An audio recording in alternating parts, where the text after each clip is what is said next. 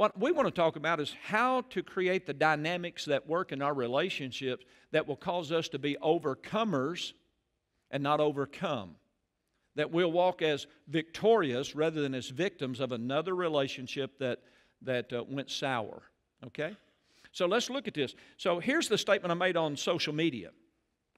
If you are fighting one another, you're fighting the wrong battle. See, the problem with a fight, and I, have read a lot of different material, uh, and, and I've seen some things on television, you ought to fight fair. How about just not fighting at all? See, if we're fighting one another, we're fighting the wrong people. Husbands and wives and children and parents should not be fighting one another.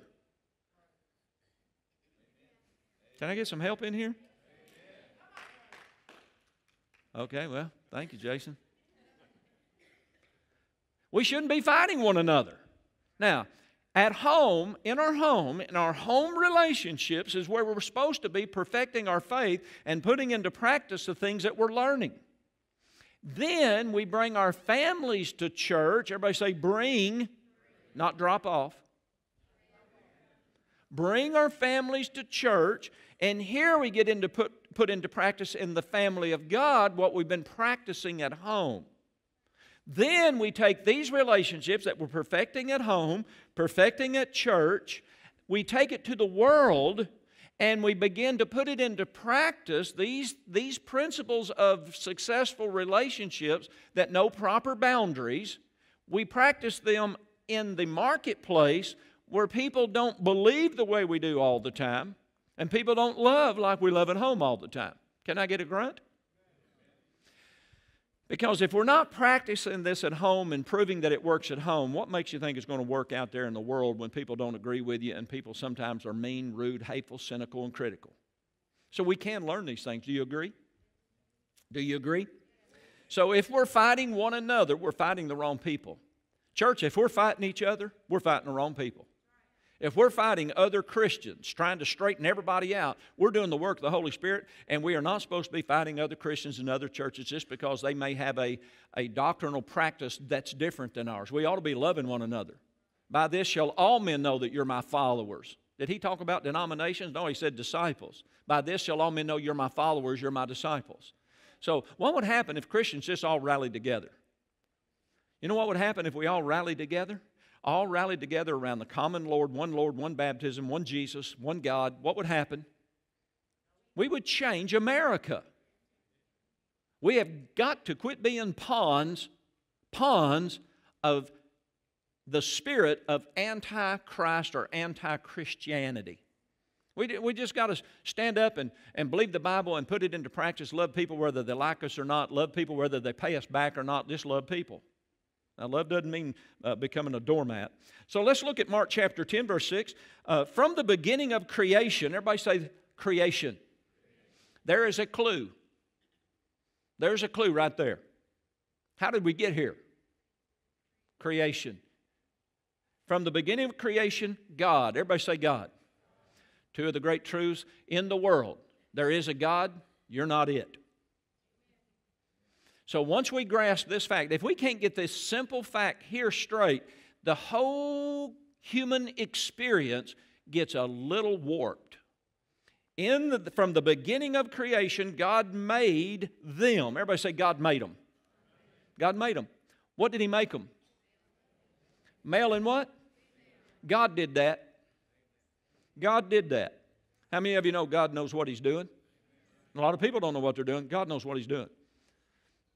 So here's the simple premise of human experience that, that lays the foundation for the human experience to be to live at the highest level of human potential. There is a God. I'm not it. God created us. He created us male and female. That, that is, that's way more than what I'm going into now male and female. For this cause shall a man, everybody say man, leave his father, everybody say father, that'd be a man, and his mother, everybody say mother, that'd be a woman. Y'all still with me? Male and female. father, mother. This is God's simple plan. He made them this way. And he said to the man to leave his father man and his mother woman and cleave to his wife woman. Is everybody still with me? Now, is that our society? No. But the Word of God tells us the will of God. And we cannot change the Word of God just because society finds the Word of God to be an inconvenient truth. This is not derogatory toward anyone who believes there's a different pattern or a different style of living. That's not even a judgment. What I'm telling you is God's plan. Okay? You can live a different plan, but that doesn't make it the will of God. And if we don't believe God created us, then it basically opens it up to a free for all. Every man becomes God unto himself, or every woman becomes a God unto herself. All right, so let's keep going. And they twain, that's a woman. You know, Shania. Do y'all not read your Bible? Now you lose that if you don't go with the King James right there. And they twain, those two shall be what? One flesh. So then they are no more twain. Now, my grandfather worked 52 years for the Cotton Belt Railroad. Every day he went out on a twain, and every night he came home in a twain. That's what he did. That's, thank you. And they two shall be one flesh, so then the two who are two become one flesh. Now, in years past, many other lessons and, and sermons we've talked about, the problem is not that Janet and I become one flesh. The problems are when a husband and wife remain two minds.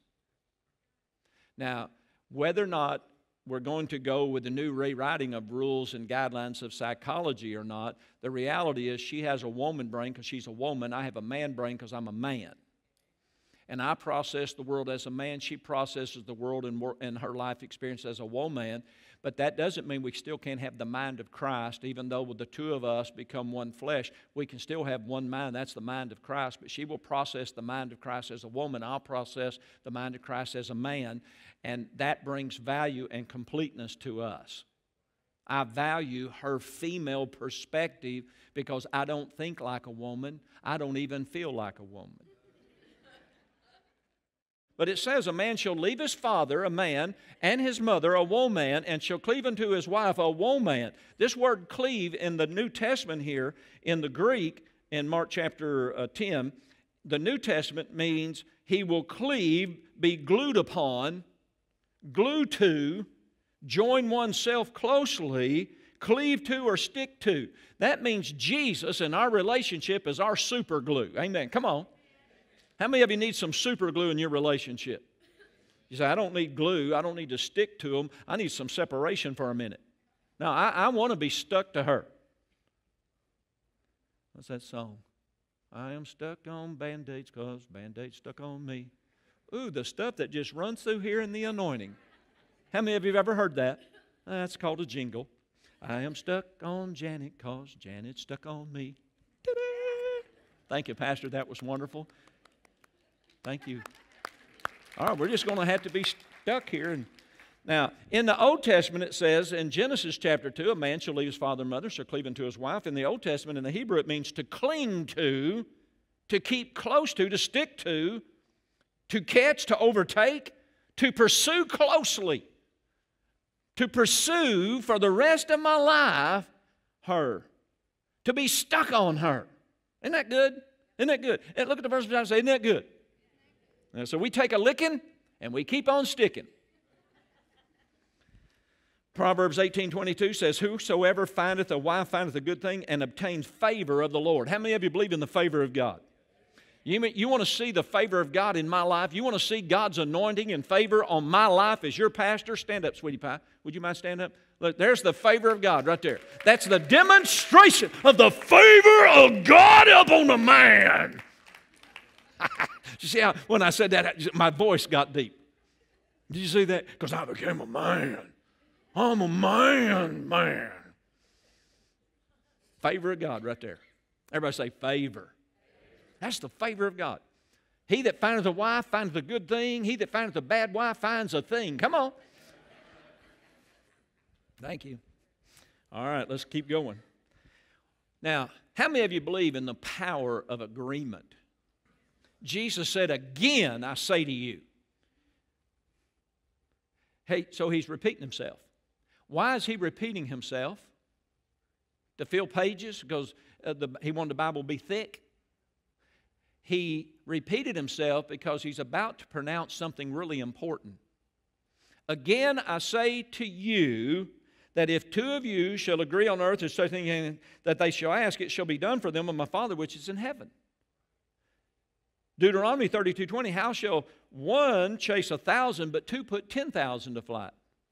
Maybe, maybe we could say it like this marriage is like a three legged race. Y'all know when you, you get us, uh, you tie your leg together and you have to walk in step. That's not really one flesh, but at least you're in unison and in unity. How can two walk together except they agree? The power of two becoming one. The power of two becoming one. Why is that important? Because individually, I have power to put a thousand flight. She has power to put a thousand flight. Together, we have the ability to put 10,000 to flight. Do you see the, the power of multiplicity? Do you see the power of what happens when we come together? So, may I propose to you maybe that's why the world, the spirit of Antichrist, is redefining marriage. Think about what the devil is up to by changing what God established and communicated through the penning of the Holy Spirit that a man shall leave his father and mother and cleave to his wife, and those two become one. See, because if you redefine it, if you don't follow the will of God, you don't have the power of God. And though you may choose to love who you choose to love, when you break the Word of God, I don't know about you, but I think the word sin still fits. Self indulgent nonsense. And the devil by a spirit of antichrist, institutes a new way, a new definition. If you want to walk at the highest level of human experience, you have to be willing to admit there's a way that seems right unto man, but the ways thereof are death. The end of sin is death. But the ways of God are right. Let me just be a, uh, just make this simple. If you design the Ford, you don't go to the Chevy manual to understand the Ford. Some principles work, but you can't read page 38 in the Chevy manual and apply it to your Ford and expect to get a desired result, which is it's going to work right. When you have the Word of God, we have to recognize He created us, we're answerable to Him. And His ways are right, His ways are just. His ways are eternal, and we benefit both here and eternally if we do it His way. So if you grasp that, that He's God, we're not. No matter what your political persuasion, your race, your gender, He's God, we're not. In the beginning, he created male and female, and he said, A man shall leave his father, a man, and his mother, a woman, and shall cleave unto his wife, a woman, and they two become one complete person. Once you get that, you go, Okay, well, I'm humble. I'll submit to that. Now, I've already, by doing that, acknowledged he's Lord, and I'm going to do things his way. And God says, I'm now going to pour out my spirit on you and empower you. Hi, everybody. Perry Black right here at Arkansas Christian Academy. And I want to take this moment to just say thank you for looking at our website. I know you've got a lot of questions, and they say a picture's worth a thousand words. Well, let me tell you, take a tour of Arkansas Christian Academy. That's worth a million words.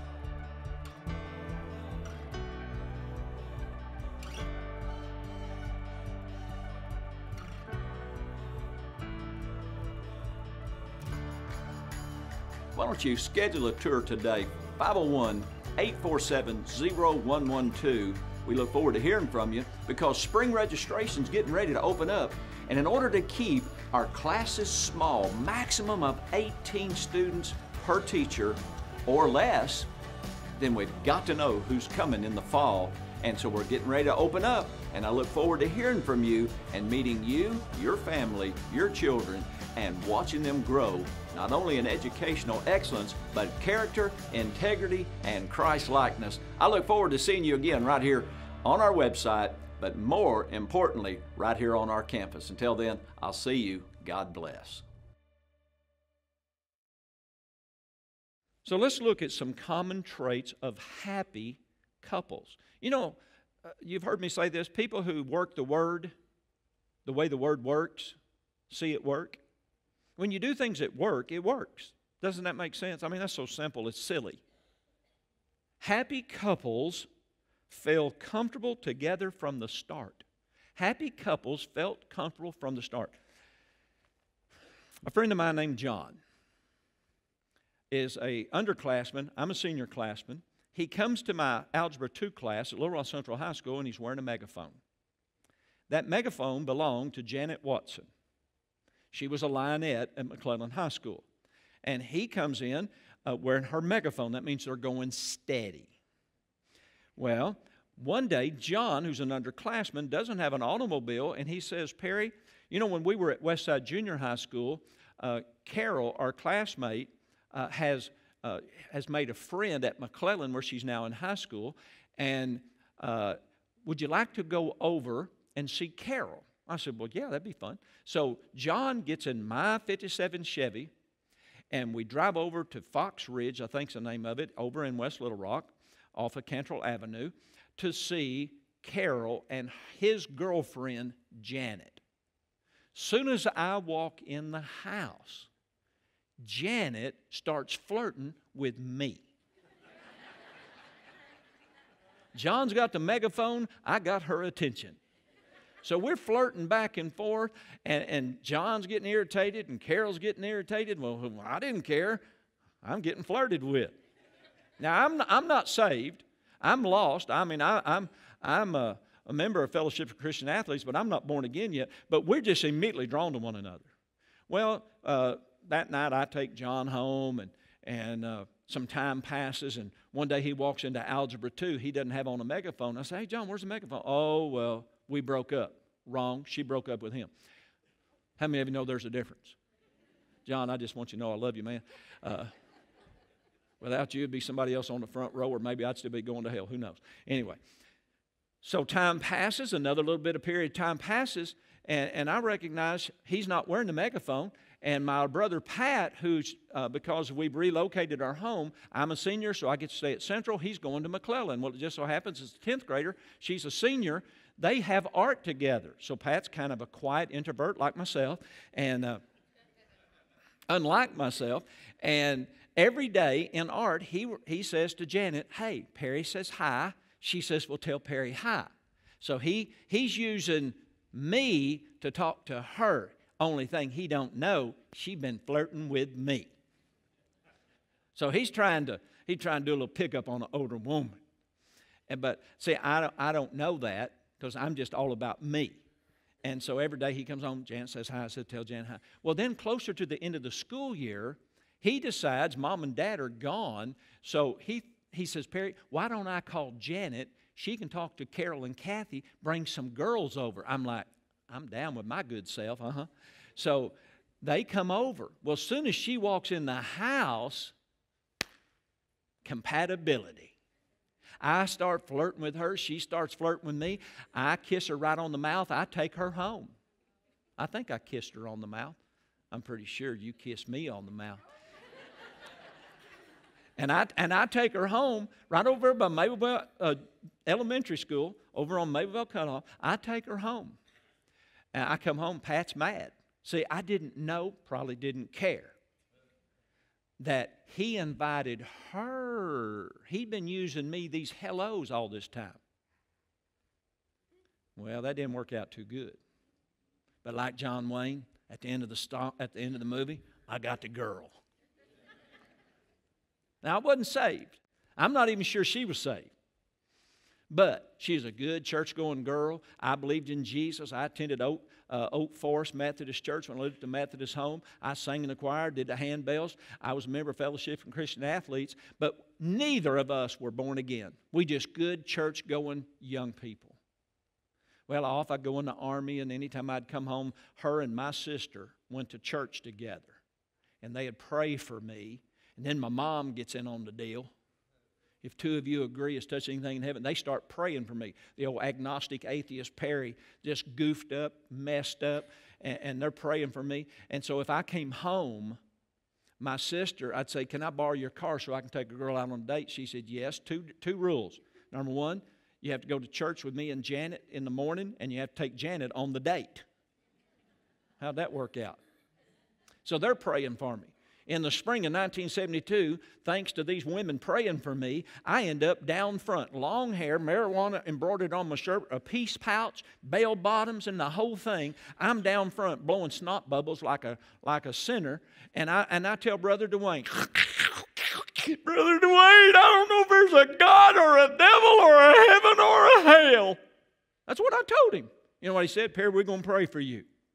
So now I got my mama praying for me, I got Janet praying for me, I got my sister Paula praying for me. Now I got the whole men's ministry of that church praying for me. You can clap if you want to. That's in March. In October, Jesus Christ comes flooding powerfully into my life and saved me. Hallelujah. Aren't you happy for Jesus? but we were compatible compatible. She used to send me when I was in Bad Kreuznach in the army. I'd open my mail, and she would send me, "Dear Pear." That's what she called me, because I'm a little fruity. On Pear Stationery, Chanel number five. I'd open up, "Dear Pear." Sure miss you flirting with me. Compatible from the moment we met. Still compatible. Happy couples, happy couples feel compatible. Ladies, look up here. You you have got to understand point number 2 is happy couples share compatible dreams and goals and values. If the man in your life that you're not married to, the man in your life that, that you're praying for, if he's not, if he doesn't share your values, he doesn't share your dreams and your goals, why are you dating him? Sit down with a piece of paper or with an iPad and write down what you're believing God for and become the woman that that guy that you're believing God for is looking for. And watch what God will do. But I'm telling you, if you just say, How many of you believe you can name things? You can call things that be not as though they were. You can call into your life things that are not in your life right now. If he's a jerk, what makes you think you're going to change him? Just because he gives you a wedding ring? You either ask God for what you want or settle for what you can get. Ladies, gentlemen, do not settle. Thank you. All right, don't settle. What are you believing God for? Happy couples adapt and change. You know, God's still working on me. Is He still working on you? And He's put someone in my life that I can trust to help me become more, better, gooder, to help me become more of what she's believing God for.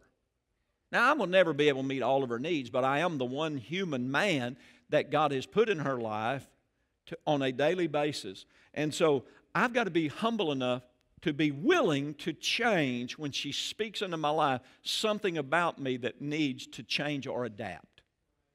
Well, I'll tell you right now, brother, I ain't changing for no woman. Okay. You need to change that, or I'm not going to change for any women because it's going to be women in your life, not woman in your life. March 30th, we will celebrate 45 years of happy, fulfilling marriage. That's awesome. Do you understand how awesome that is? That's not by accident.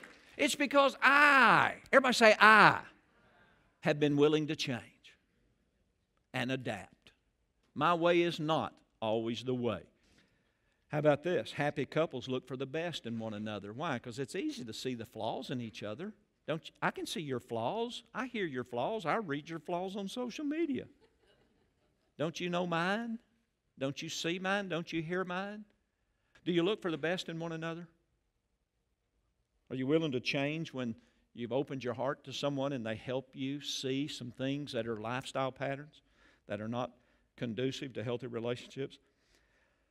Happy couples describe their mate as their best friend. That's I've told you many times, she's my best friend. I make no bones about that. If I'm going to spend five hours a day doing something, I'd rather do it with her than any man in this room. That's why I don't play golf. So I haven't played golf in over seven years. Driving down the road, pull up to a signal light that happens to be red, I can kiss her. But I promise you, you get me in a golf cart, guys, I ain't kissing you. And if you kiss me, I'm going to give you a new definition of the word ping golf clubs. I'm going to ping you right upside the head. Happy couples do not fight for the upper hand, but rather a win win solution. Happy couples, here's the problem when we fight to win. My way, bless God, I'm a man. When you win, somebody else lost. Guys, when you fight well, I'm a man, bless God, you're supposed to submit to me. When you fight to win, your wife loses. And I'm telling you, when your wife loses, makes the full circle. So do you. You cannot be the man of God that, you, that you've been called to be if you create a loser of your wife.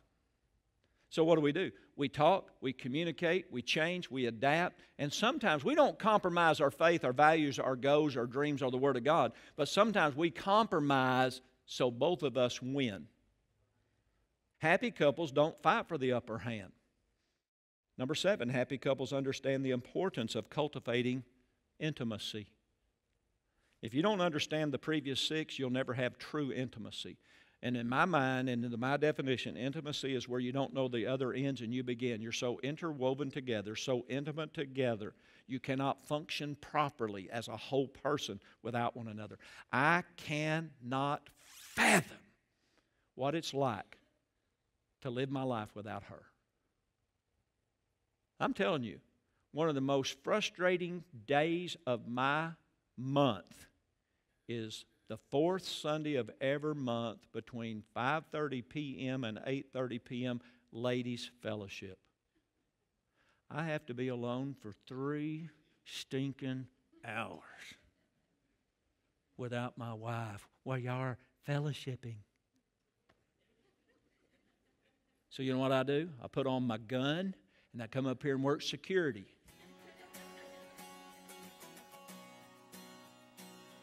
Hi, this is Perry Black, and I want to let all of our viewers know that all of my messages are free, and you can download those at familychurchbryant.org. And I'll see you next week right here on VTN, your Arkansas Christian Connection.